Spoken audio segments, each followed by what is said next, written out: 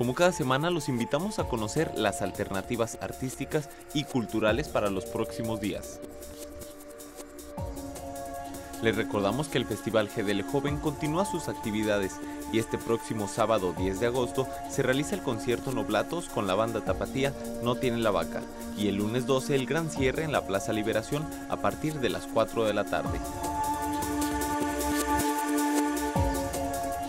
El Encuentro Internacional de Jazz invadió la ciudad y en esta ocasión nos presenta hoy por la noche el concierto alterno de KM Big Band en la Matera Bar a las 11 de la noche y el día de mañana, misma hora y mismo lugar, se presenta el concierto de Chocolate Smooth Gang. Por otro lado, el Cinemóvil visita la colonia indígena. Mañana viernes 9 de agosto a las 19 horas se proyectará la película Nome Julieta, una animación para toda la familia del director Kelly Asbury.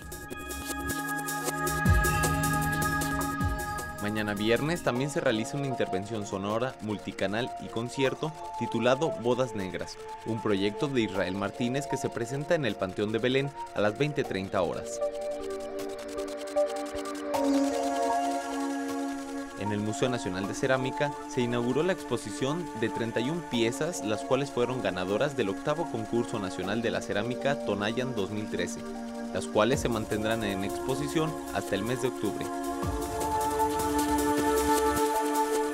La Escuela Municipal del Mariachi invita a todos los interesados a inscribirse a partir del día 2 de septiembre.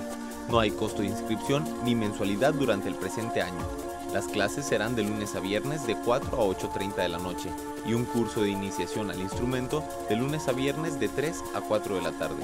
Para más información contactar con escueladelmariachi.gdl.gmail.com